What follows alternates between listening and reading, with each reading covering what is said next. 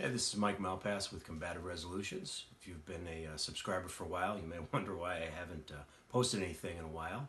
And uh, this is the reason. I have been writing this book, Taming the Serpent.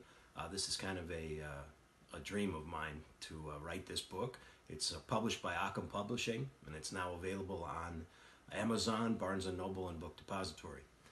the book is about how your brain processes information, both while under stress and pressure and without stress and pressure. And it's the reason why sometimes, even when we train, uh, we sometimes don't perform to our best in uh, whether it's competition or a life and death struggle.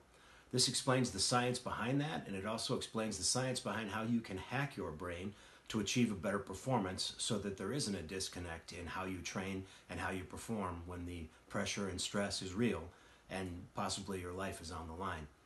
Uh, I would consider this book vitally important for anyone involved in law enforcement, but it also has applications for anyone who's involved in competition or extreme sports or really any situation where you want to perform better under stress and pressure. Uh, understanding the science will absolutely help you to hack your performance. Um, again, it's available on Amazon, Barnes & Noble, and Book Depository. And if you do check it out, please get back to me and let me know what you think. Thanks.